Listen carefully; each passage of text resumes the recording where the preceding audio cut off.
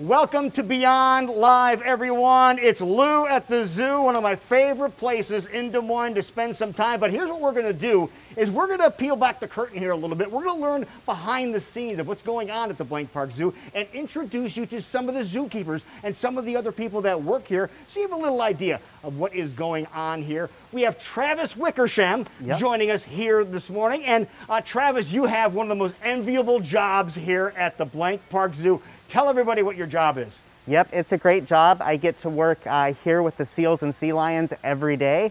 Um, we get to do a lot of training, um, and it's a really rewarding part of the job.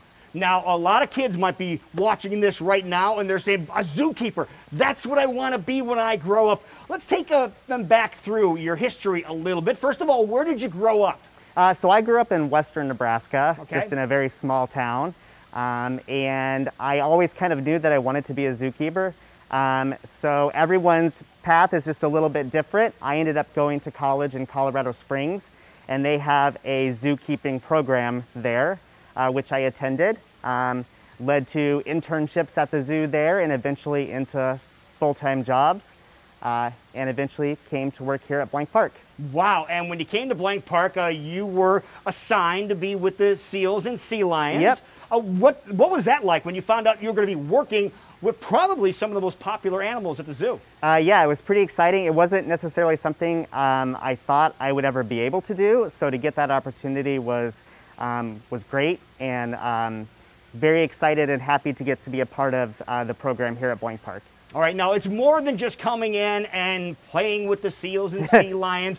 You have a long day. Yep, When you get here, get, run everybody through what a typical day is for Travis. Yep, so generally we come in first thing, we check on all of our animals, make sure they're all uh, happy and healthy. Um, start by preparing all their diets so we can feed them. But most of our day really is cleaning, so going out and hosing, shoveling, all the fun stuff. All right, and so then keep that in mind too. There's more than just uh, playing with the animals, as some people call it. But let's talk Yeah. about preparing the food because you don't just you can't just get like food for seals and sea lions. You have to make sure that their nutritional needs are met, and every animal is different. Tell everybody what you do.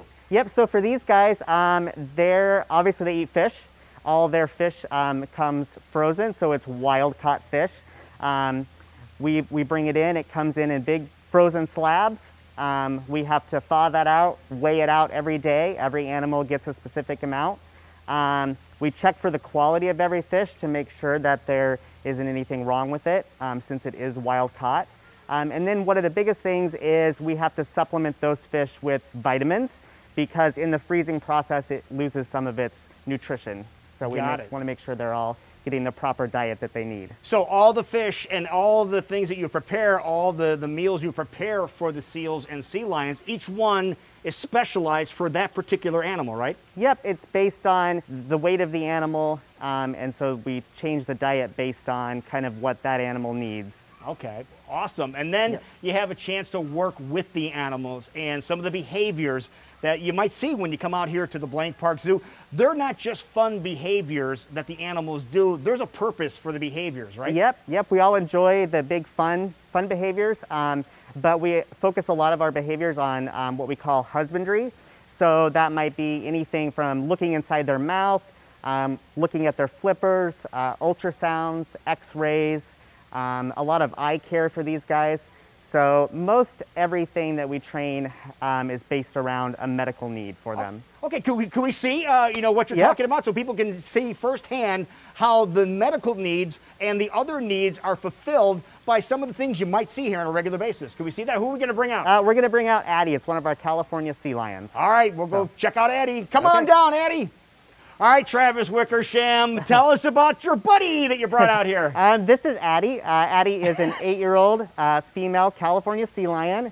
She is one of three that live here at the zoo, um, along with our three harbor seals. Right, now, for those people that might not know how the Blank Park Zoo acquires some of their seals and sea lions, tell everybody the story behind it because this is really cool. Yep. So um, actually, all of our uh, seals and sea lions here, with the exception of one, are all rescue uh, animals. So they could not be re-released um, for whatever reason. They all came from rehab facilities in California and Canada.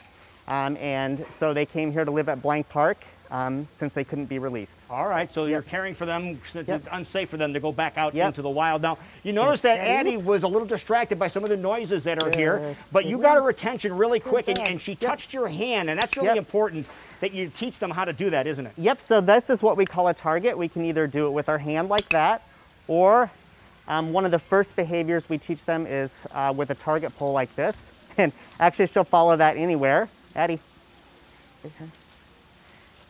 How So she's trained that? to teach her or to touch her nose to the end of that target. Um, and then if we want to shape a behavior, uh, we will move that target kind of where we want the animal to move. So this is called a stretch behavior. She'll move her head all the way to her back like that. And that's a natural position, And that's right a there. natural position. Okay. Um, we can fade out that target and then we can just ask the behavior. Oh, wow. Yep. Now, you notice that when uh, after a behavior is done, you hear a clicking sound. Explain what the clicking sound Yep, is, so this is the bridge and we just use um, a dog clicker. Show the camera there so everybody Yep, can see it at home. see- Yep, Okay. just looks like that. It just makes a little clicking noise. And that just lets the animal know that they did the behavior correctly and they're gonna get a reward. So every time we ask a behavior, we'll bridge it and then we'll reward it. So you bridge between the behavior and then it's positive, and then you get the reward. So Yep. that's what the bridge is That's all it. about. Now, what other kind of things do you teach the animals, and other kind of uh, things that the animals do that benefit them medically? Um, so we can do a lot of different husbandry behaviors. Uh, look at their flippers. Ah, Do that on either side. Uh, we can have them open their mouth. so you can see their teeth. see inside their mouth, see their teeth. Um, and we also, I don't have an eye drop with me, but we give them um, several eye drops um, every day. Um, and we're able to look at their eyes. Okay. Um, Addie, come. Good. Good. Addie, down. And she'll present her belly for us. Um, we're able to kind of look at all of the underside. and so, yep, that's just one of the ways that we can get a X-ray and ultrasound performed. That is awesome. Good job, Addie. Now we've seen them wave in the past. Yep. Can, can she do that too? Good. Addie, wave. There's the Just wave. like that. yep. And she can also do kind of a fun one. She can, we call it talk. You talk? Good. Oh, that is so neat how Yep. she just she is so, so locked into Yep. you. Do you think she'll do that for me or not? We can try it and see. I bet she will. Addie, Addie, and she knows her name, right? Yep. Addie, can you wave? Can you wave? Good girl. Okay, I'm gonna give you a fish. Hang on. Uncle Lou has big fish for you. Okay. there you go. And now, how do you make her speak or Uh, talk? just like this. Can you? Oh, Addie, I like you too. I like you too. I'm gonna give you a real big one for that one. Here you go. All right, good girl. That is so neat. She- It's amazing how locked in. You can see the flies are around you. That's what she's jumping for. Yep. But she's locked into what you're Yep, doing. exactly. It's- you guys did an incredible job here with Yep. these animals, caring for them. Again, these animals are brought to the Blank Park Zoo because they cannot be released in the wild. Addie. So that's just another layer of different things that are going on Yep. at the Blank Park Zoo. Travis and Addie, thank you so much for visiting with us. Yes, us. thank you. See, now you know a little bit more some of the things that go on here at the Blank Park Zoo. Here, Eddie, want another one? Eddie, Eddie, you want another fish? Eddie. There you go.